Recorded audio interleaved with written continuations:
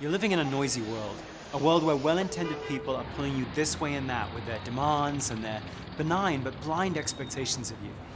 To make the best of yourself, and to do so in a way that lasts, you're going to have to quieten all that noise and then turn up the signal of your strengths.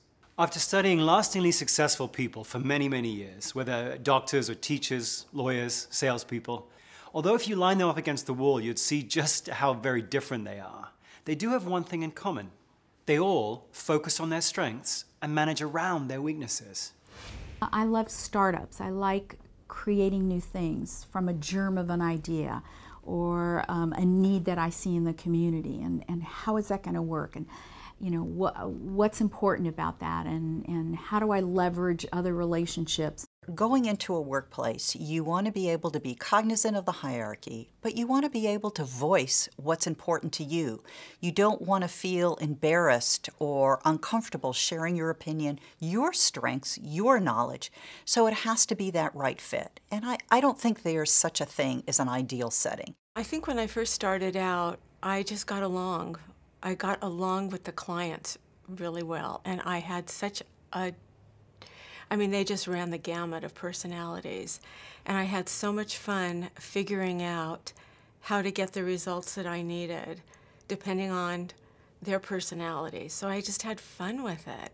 I don't really keep scrapbooks. I'm not a real memorabilia kind of person, but I look through some of my work I'd done in college and, and some of the work that I had actually done at that organization and I started to see that I had value, that that what I how I looked at things, how I approached things, how I kind of broke big things down into little pieces and how I taught, how I led, how I facilitated, how I managed was was unique to me that no one else did it the way that I did it. Not to say that I did it better or that they were wrong or right. It was never like a place of judgment that I stood, but I could see that I have talents that I don't have to work so hard at, that other people have to work a little harder at, but that come naturally to me. And that was a huge kind of aha moment. It was it was really almost life-changing. You know, when I think of strength, I think of energy. And I think of those talents and skills that energize me. That is strength. If you're going to build on your strengths intelligently, you're going to have to claim them as your own. You're going to have to add your own detail, drawn from your own life. As you make your own strengths journey, there is one critical definition that you need to know. Your strengths are not what you're good at, and your weaknesses are not what you're bad at. Obviously, quite a challenge to build on your strengths if you don't know what your strengths are. And the funny thing is, most people aren't very clear about what their strengths are. In fact, if you ask people, describe your strengths to me, in a job interview, say, or even in conversation, hey, what are your strengths? Have you ever noticed people's answers are very vague? In fact, we know by far the most common answer to the question, what are your strengths? By far the most common answer. You want to know what it is? I like working with people. I do. Just like working with people. I think because I'm also a person. In fact, I might also go so far as to say I'm a people person. I'm a people person. Me and people, we're just like this, we are. We're tight, me and people.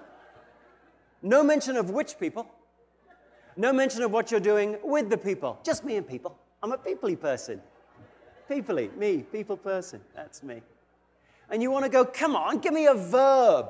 What are you doing with, to, or for the people? Are you educating the people? Are you selling to the people? Are you persuading the people? Are you taking care of the people? Are you inspiring? Just a verb. Any verb will do. Give me one verb. But I think we're vague about what our strengths are because we've been raised to believe that our strengths are what we're good at and our weaknesses are what we're bad at. Now, stay with me on this because if your strengths are what you're good at, then you can't be trusted to define what your strengths are, can you? Because you're not objective about what you're good at. Your teachers are going to tell you what you're good at. Your manager is going to tell you what you're good at. You can't be trusted. So most of us in our entire lives have been told, you can't be trusted to say what your strengths are. Someone else is going to come in and tell you. But I don't think that's a very good definition of a strength. A strength is what you're good at, and a weakness is what you're bad at. Really?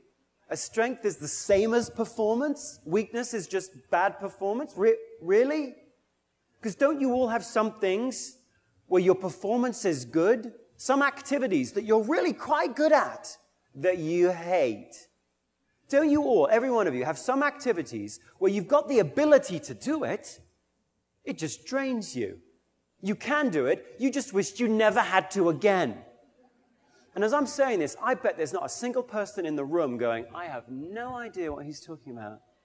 I bet every one of you got something in your daily working lives or your home lives where you're really quite good at it, but if you never had to do it again, it would be a day too soon. What should we call that? What do you call something where you've got great performance and it depletes you? I'm going to suggest you go with the word weakness. I'm going to suggest the best definition of a weakness is an activity that weakens you, even if you're good at it. Whole careers have been built this way by confusing what you're good at with a strength. And yet there are a lot of people who have, a lot of people who showed that were very good at pre-med in school and they became a doctor and they woke up at 40 years old and realized, wait a minute, I'm a doctor, but I don't like sick people. And they keep coming into my office, I fix one and there's another one. There's a whole line of them out there, actually. No, a weakness is an activity that weakens you, even if you're good at it. A strength is an activity that strengthens you. What's important about defining a strength in this way is it means that you are by far the best judge of your own strengths and weaknesses. Your teachers, your managers, your parents, they're the best judge of your performance. But you, you're the best judge of your strengths. So if you want to make your greatest contribution, take responsibility for discovering and claiming your own strengths. Here are the four most obvious signs of a strength. In fact, you can use the acronym SIGN, SIGN, to remind you of them. The S stands for success. There are certain activities where while you're doing them, you feel effective, you feel in control. Psychologists call this self-efficacy. That's the first sign. The I stands for instincts because there are certain activities where before you do them, you instinctively look forward to them. You positively anticipate them. Now, this doesn't apply to every activity. Obviously, there are some activities that you push off. You procrastinate. You want to hand them off to the new guy because it'll be developmental. The G refers to growth. There are some activities where while you're doing them, it's like your brain is growing. It's like the synapses are firing. It feels like time is speeding up, and, and what maybe felt like five minutes, you look up and a whole hour has gone by. You have rapid learning. The N refers to how you feel after you've done the activity, because there are some activities that fulfill a need of yours. After you're done with it, you may be tired. You may not be quite ready to saddle up and do it again, but you're not drained. In fact, you're fulfilled. So pay attention to those signs. They're a great clue to where your strengths lie. Of course, we all have activities in our life that drain us and bore us and drag us down. No one's life is a perfect fit between them and their strengths. Well, I, you know, I'm not a budget person. I mean, you know, I'm not a number cruncher. You know, I'm better because I've had to do it and I've had to figure it out and I've asked questions and I've forced, but it's not my natural suit. Just doesn't come you know, when stuff is on my desk, that's probably one of the things I don't, I have to plan time to look at that. You know, I have to schedule, okay, I'm going to do this, and then, you know, in half an hour. So I force myself to do it. It's not a natural. And I would describe a weakness as swimming upstream against a strong current. It's hard. It feels uncomfortable what I might not do well. I might look at another person who is easily accomplishing it. It's their strength. And so for me, the difference between strength and weakness truly is if you're playing in your strength, you're feeling energized, passionate, it is fulfilling you. I remember eating my breakfast in the morning, drinking a cup of coffee, literally throwing up in the kitchen as I was walking out of the door, and my husband looking at me and going, Oh, sweetie, try to have a good day. Another weakness I had that I needed to overcome very early on is I hate to speak publicly. Um, hated to speak in front of groups uh, in college, hated to give reports, and yet so much of what I do is speaking to large groups and speaking to my staff, and I think it's something that I needed to find a way to overcome that weakness. Well, you're never going to be able to turn your weaknesses into strengths, but there are certain strategies that you can use to manage around them.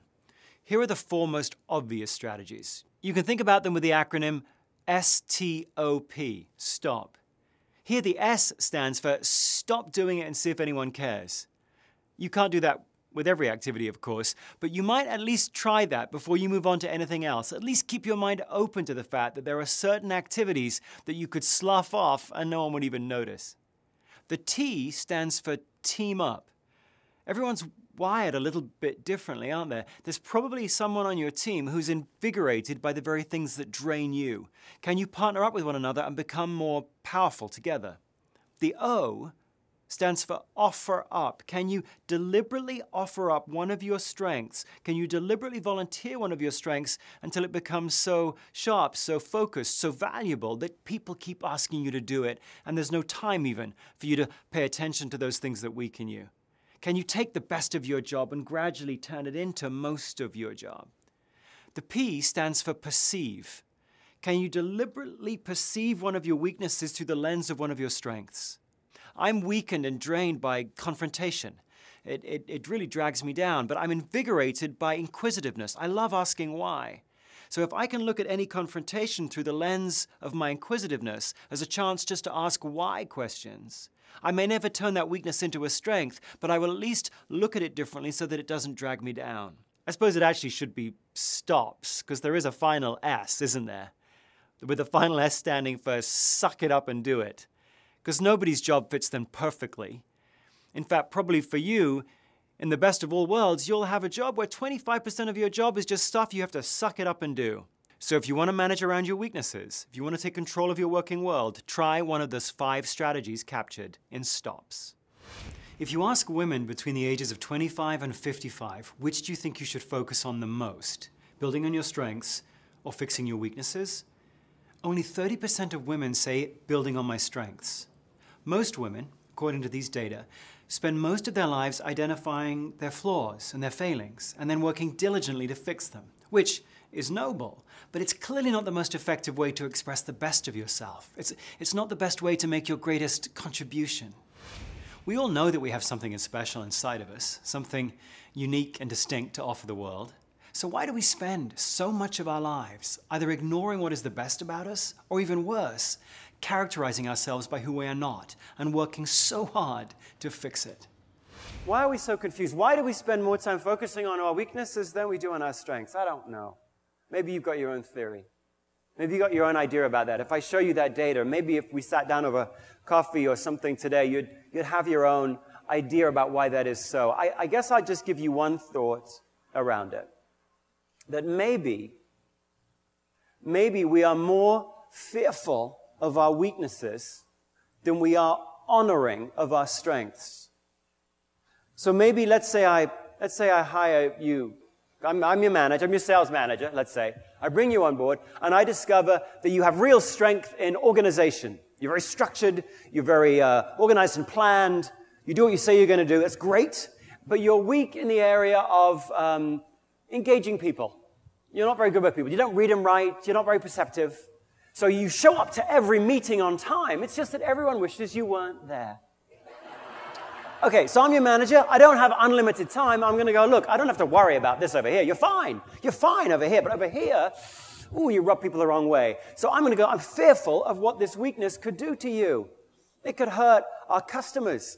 It could hurt our clients. It could hurt your colleagues. It could hurt the team. It could hurt you and your career. And I'm a good guy. I want you to have a good career. This could hurt your career. I suppose it could hurt me too. I'm your manager. I don't want you to look bad. I hired you. So, so if I think about my limited amount of time, I'm going to go strengths, organized, fine, weakness, ah! You know someone's fear, you'll know their need. That's what they say in psychology, right? You know their fear, you'll know their need. Okay, I need to fix this. for everything that I just described in terms of the fear that comes with it of what your weakness could do to harm you. And this fear gets ingrained in us very early, doesn't it? The fact is, if you ask parents this question, your child comes home with the following grades English A, Social Studies A, Biology C, Algebra F. Which grade deserves the most attention from you? It turns out that 77% of parents say the F. Most children around the world are characterized by the people who love them the most, by who the kids aren't, rather than by who they are.